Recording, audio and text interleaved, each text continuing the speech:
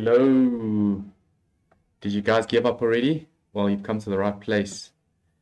So I'm going to show you how to design this fragmented chart in PowerPoint. And it gives you the ability to um, make each piece in different colors. So let's begin. So duplicate the slide. So firstly, what you want to do is you're going to insert a donut shaped circle, hold control, uh, sorry, hold shift. So you have a perfect circle on your keyboard. Let's shrink the donut a bit. Okay. Um, remove the outline from the circle. And what you want to do now is insert another shape. Going to insert the semicircle shape. Bring it here. Make a little bit more skinnier. Let's shape outline nothing. Let's make the shape full white. Let's place it over our charts. Let's create the curves.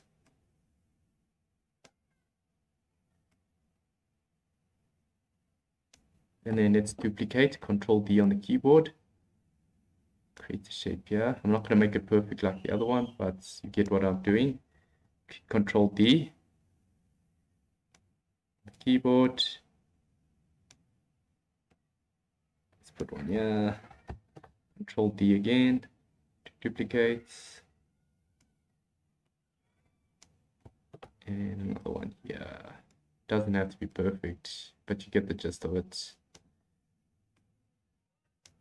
Okay, and then the trick here, let's just make this a little bit more even. Let's put it here. Or actually, let's put another one. It looks a bit more even.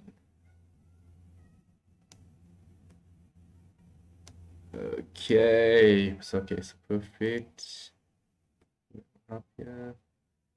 Okay, now the trick is you want to use the fragment shapes uh, functionality. Um, so if you go, if you highlight Oh, so firstly what you want to do is you want to make sure that this donut shape is in front of all these mini shapes, these semicircles. So go right click, bring to front, highlight all the objects, shape format. There's a option called merge shapes.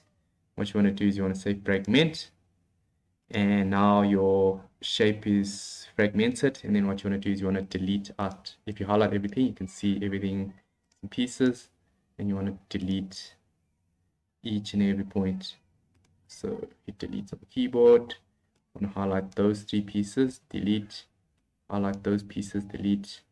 See those pieces are moving. And even that one. And what you're going to do is delete all those pieces.